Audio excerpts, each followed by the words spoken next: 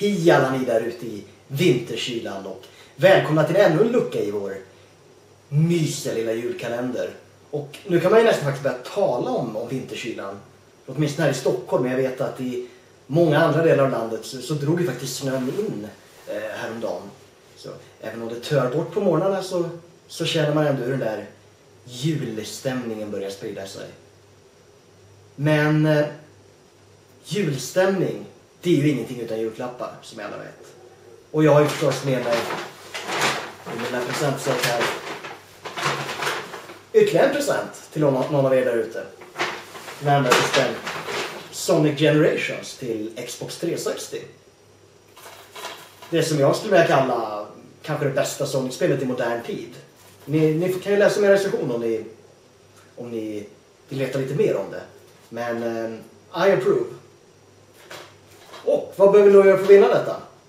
Jo, det här har givits ut med, med anledning av att det är Sonics 20-årsjubileum i år. Och det fick mig att tänka. Hur kommer Sonic se ut om 20 år? Och ytterligare 20 år? År 2031. Det. Det är er uppgift att berätta det för mig. Och då menar jag inte nödvändigtvis just Sonic, utan vad som helst ur tv-spelsvärlden. Jag förväntar mig inte att ni ska ta ett helhetsgrepp och, och beskriva absolut allting, men, men ge mig en liten inblick om hur 2031 kommer att se ut.